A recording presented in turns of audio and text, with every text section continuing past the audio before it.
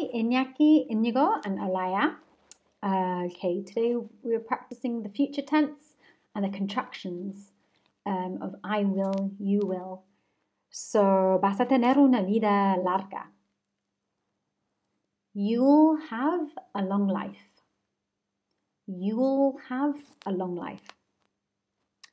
Voy a tener dos vivos.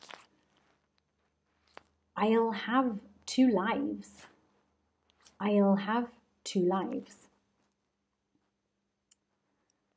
Good. Other pronunciation. Descargar libros piratos. Download. Pirate uh, books. Or illegal books, maybe. Um, download illegal books. And we had, soy persona amorosa y agradable. I am a loving person and a lovely person. I'm a loving person and a lovely person. Slightly different meaning. And also vocabulary we had um, la gente, las personas en um, la fábrica están tiritando. The people working in the factory are shivering.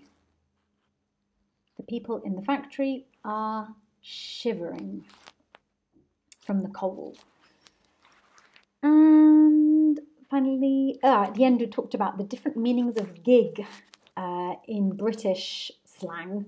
Um, so we have gigabits, um, uh, which would be gigabytes, gigabytes, and sometimes called gig. So my internet is 10 gig, for example. My computer is however many gigs. And also for a concert, a music concert, I'm going to a gig tonight. Um, and the other one was a job. So I've got a new gig uh, working in uh, uh, somewhere, new factory or something. I've got a gig. Okay.